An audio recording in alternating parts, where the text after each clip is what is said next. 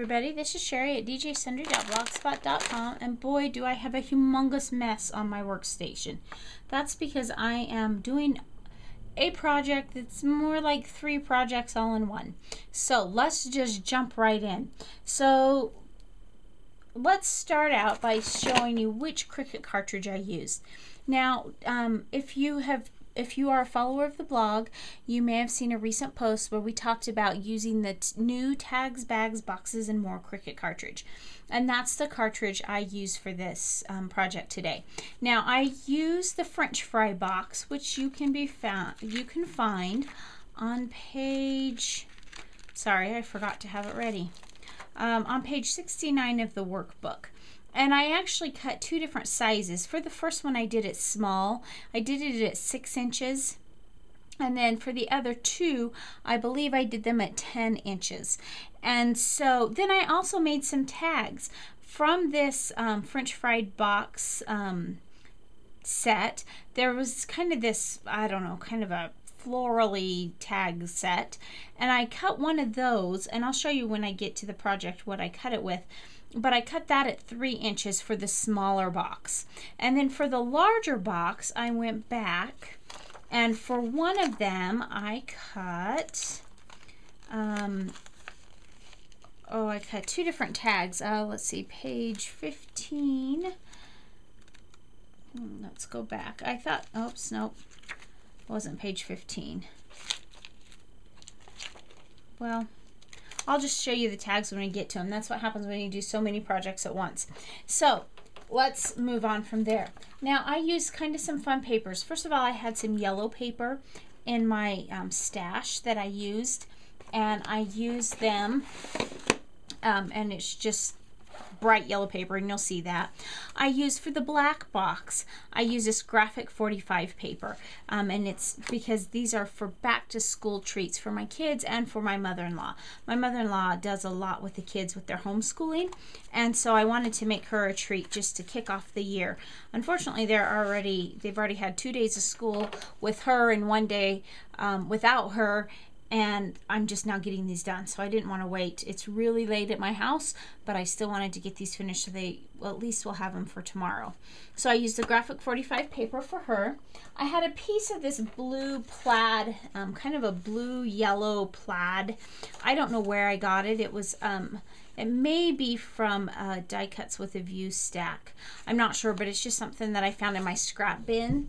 And then I had this piece of paper from um, the Write Out collection from My My or um, We Are Memory Keepers, and it has two different um, sides. It's double sided. This is the main side. This is the side I used. If I had more of it left, this one had more um, like maybe six inch squares or something, and it had different patterns on the back. But I only used a little bit of this little swirly pattern for one extra project that is going in this. This was the main one, and that's for my daughter who's a senior.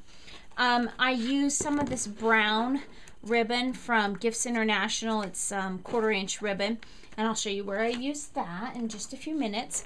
I use some distress ink. I use Faded Jeans and Frayed Burlap Distress ink.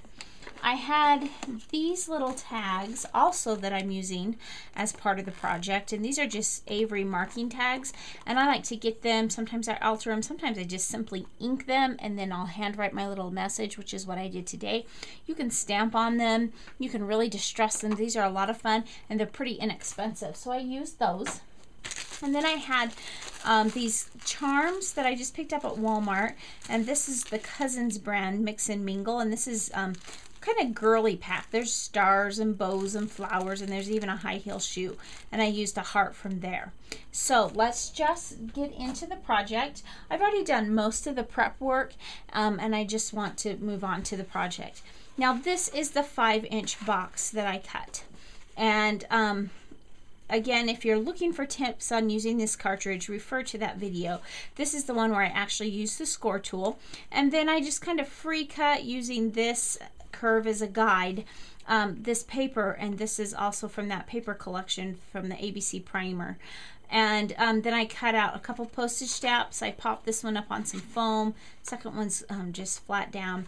And then I cut um, my um, flashcard and then the paper in the primer pack is double-sided and so I backed it with some scraps that I had that had this red and so then I pulled some ribbon and this is pretty bright red but I th still think it'll work and I um, this is um, Holly Berry from um, Three Girl Jam and then this is um, Tuxedo Black and then this is the tag that I showed you about now I cut both layers of the tag. This again is from the primer pack. And this, um, the, the back is just some black cardstock I had. And, um, but it's awful busy. So what I decided to do is I cut my hole with my, um, my hole punch kind of in the side. And I think what I'm going to do for this particular tag is I am going to cut it really kind of long um, so that the tag's kind of free floating rather than close to the box. For my other boxes, I'm not going to cut it that long. I don't want it free floating, but it was just too busy for me not to be free floating on this. So to do that, I'm just, I've already cut my ribbon here and I'm just going to run it through the hole. I've put my little message on the back and you know, yellow would have been pretty with this too. Um, so I've kind of got that just like so. And I think I'm just going to tie a knot, just, just a loose knot right here. Just like that. And then we'll put some, put the ribbon through the hole here.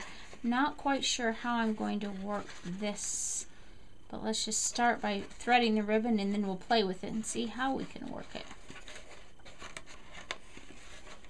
You can get the red through. There we go.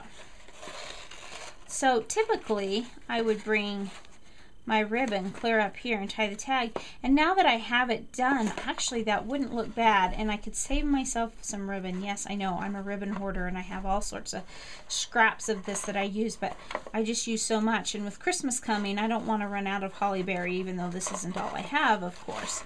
So let's just kind of shorten that up a bit and make it shorter. And we'll still kind of keep it a little bit loose, but perhaps not as loose as I had originally planned. It'll still be kind of free floating there. Okay, and we'll just tie it off. Just on the side. And then this one's for grandma. Now, typically when I make bows, I use my um, bow maker from Three Girl Jam. But since I'm tying the bow into a hole like that, that wouldn't be as easy to do. So, oh, I like the way that's turning out though. So just kind of old vintage school, which is perfect for a teacher, and that's really what the, my mother-in-law does for the kids. So we're just going to kind of leave that dangling, and there is the first box. Now let's move quickly on to the second box. This is the yellow box. Now, I didn't have my Scor-Pal on this one. So I um, kind of played with it and I have some rough edges and that's okay. I'm just doing something really simple here. All I did was cut the square. I didn't even follow the contours. Um, I just cut a square of that plaid paper. Then I have some specialty ribbon here from Three Girl Jam. This was from the, um, this is what came with the bow maker. Now, if you haven't bought your bow maker yet. This is what originally came with it, but now there's um, a new color coming with it, so you won't be able to get this particular one. But this one is the one I received, and then I'm going to pull a piece of ice blue, and I'm going to use that. Now, that's not a perfect match, but for a 13-year-old boy, it'll be just fine. This is also a tag from that um, same cartridge on a different page. It's a little sunshine. Then I wrote my note on the back. And this one, um, I also cut at three inches. So, um, we're just going to run that through the hole just like we did the other one. See how simple it is. I Now that all the prep work's done, these are going together very quickly.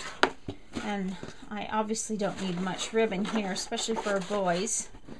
Um, so I'm just going to cut that off and we'll run our tag. Now this particular tag has a um, slit more than a hole through the tag.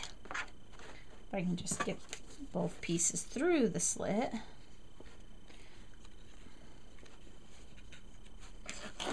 And since this is for my son, I am just going to tie it into a knot. No bow, it's for him.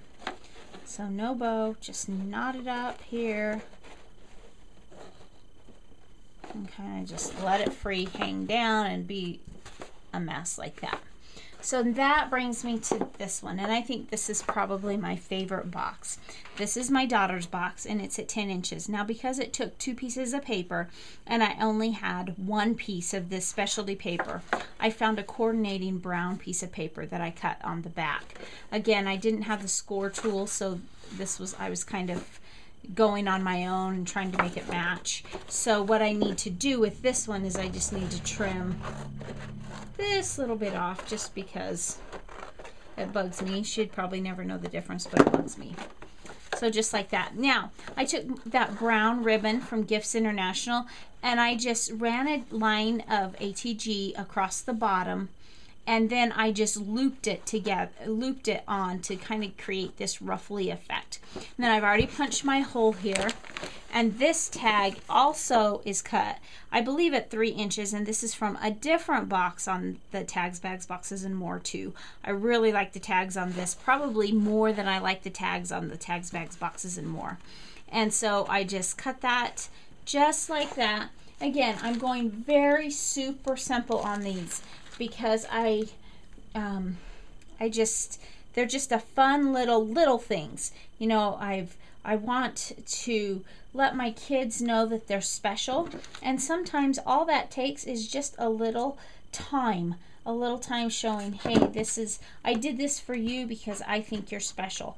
And so um, I just wanted to do this kind of, of a little treat for them for their back to school. So I'm going to run, whoops, run that through my hole again. There we go. And then we'll run that through. Now this is the ice blue and the hot chocolate. My daughter really likes teal and um, brown together. In fact, she would like to redo her bedroom that way. Um, unfortunately, she's gone through and most of the teal and brown paper already, she's already got her names on. So I didn't have any teal and brown, but this I still thought was a good, um, a good place to start for a 17 year old girl starting her senior year. So there we have, this time I am cutting a bow, or tying a bow, I'm sorry. And we've got the different colors hanging down there. Trim this side up just a tad. I cut that just a little bit too long. And there we have that one. So those are my three boxes. Now what am I doing with these boxes?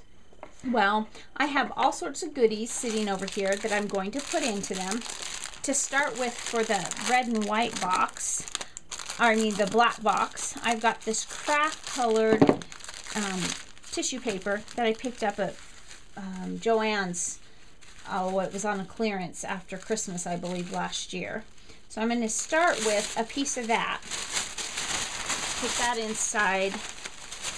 Now, I know that piece is really super big, but that's okay because I'm just going to fold it and fold it and then stuff it in there just so that I can get lots of padding and dimension in there and really make it pop. I may go back through and trim it.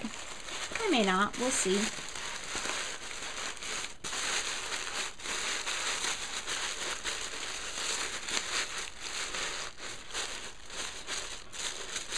Just like that. I know that looks kind of messy, but I'm not done and it's going to continue to look even messier by the time I get in there. I wanted to get some little treats, so that's what we're starting with. For this one, since it's for my mother-in-law, I thought I would get her these Bic pens. Now, my mother-in-law is likes to make cards, um, and she doesn't have a good, a lot of her pens and things are a little bit older. So I thought I would start with that. Then she could use them for school if she wanted. She could use them for um, whatever she wanted. And then the other thing that I thought that she really needed new of, even though she probably has one, is this Bic four color pen. She really likes to use these when she's grading the kids' work and she likes having the four different colors for different things that she's doing. So I thought I would just tuck that in there for her.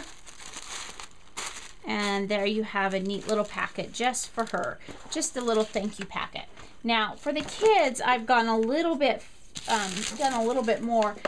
You know, being homeschoolers, they don't need a lot of school supplies because a lot of it's just stuff that we keep on hand all the time.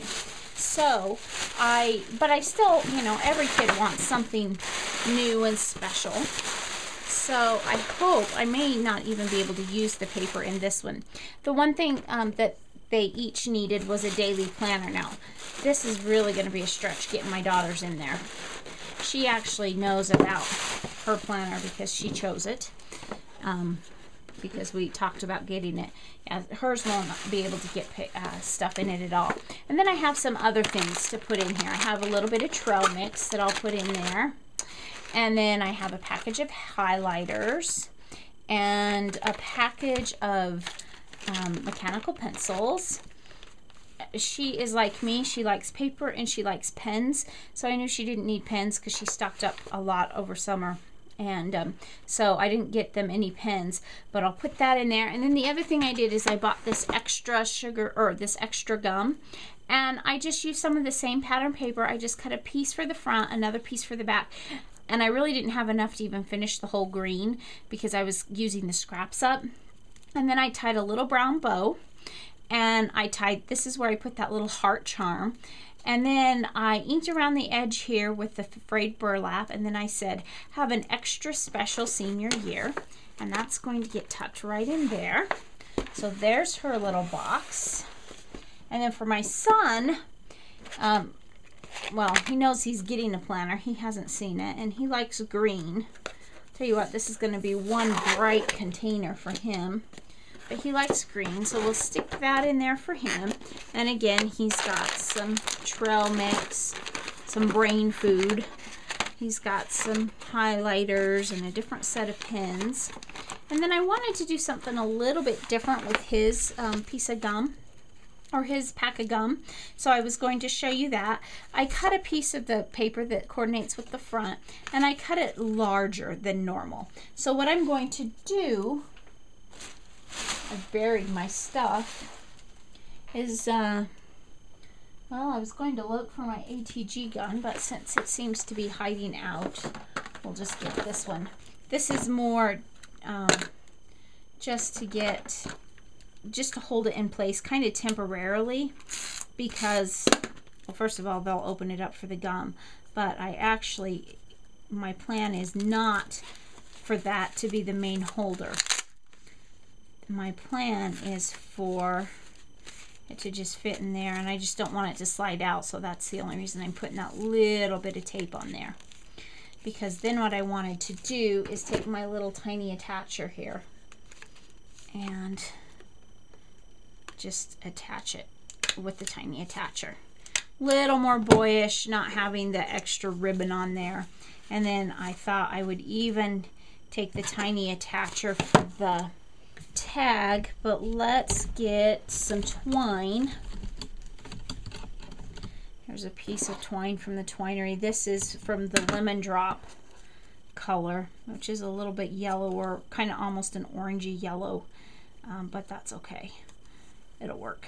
And I'm just putting just enough to have it hang. And again, I'm not going to um, do anything with it, but just staple it down. Tiny attacher. I love that tiny attacher. So there's his gum. So there we have it. We have three great projects, just little things, little things to make them smile, to let each of the three of them know how special they are and how much they mean to me, and that I hope they have a great school year. So thanks for stopping by today, and remember to take time to look for little things to enjoy every day. Have a good day.